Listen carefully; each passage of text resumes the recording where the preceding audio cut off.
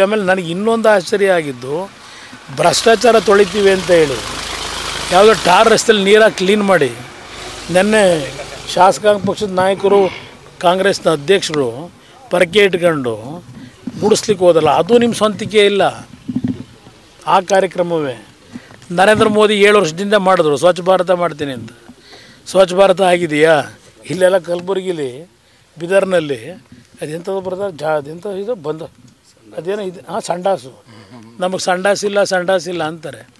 ಇದು ಸ್ವಚ್ಛ ಭಾರತ ನರೇಂದ್ರ ಮೋದಿದು ಪರಕೆಯಲ್ಲಿ ತೋರಿಸಿ, ಹೊಸ ಪರಕೆ ತಂದು ಇವರಿಗೆ ಇದಿಟ್ಟು ಹಾಕ್ಬಿಟ್ಟು ಕಸ ಕ್ಲೀನ್ ಮಾಡಿದ್ರು. ಇವರು ಕ್ಲೀನ್ ಆಗಿರೋದು ಕ್ಲೀನ್ ಮಾಡೋಕೆ ಹೋಗವ್ರೆ. ನೆನ್ನೆ ನೋಡಿದೆ ಫೋಟೋನ. ಅಲ್ಲಿ ಏನು ಧೂಳೆ ಇಲ್ಲ. ಕಸ ಪರಕೆ ಹಿಡ್ಕೊಂಡು ನಿಂತವ್ರೆ. ಸ್ವಂತಿಕೆನೇ ಇಲ್ಲ ಇವ್ರಿಗೆ ಕಾಂಗ್ರೆಸ್ನವರಿಗೆ ಒಂದು ಕಾರ್ಯಕ್ರಮ ಮಾಡೋದಕ್ಕೆ. ಆಮೇಲೆ ಭ್ರಷ್ಟಾಚಾರ ತೊಳಿತೀವಿ ಅಂತಾರೆ. ಸಂಪೂರ್ಣ ನಿರ್ಮೂಲ ಮಾಡ್ತೀವಿ ಅಂತಾರೆ. ಇವರು ಮಾಡಿರೋದೇನು? ಅಧಿಕಾರ ಇದ್ದಾಗ? ಅಧಿಕಾರ ಇದ್ದಾಗ ಸರ್ಕಾರದ ಹಣ ಯಾವ ರೀತಿ ಲೂಟಿ ಮಾಡ್ಕೊಂಡಿದ್ದೀರಿ? ಎಷ್ಟು ಬೇಕು ಪ್ರಕರಣ?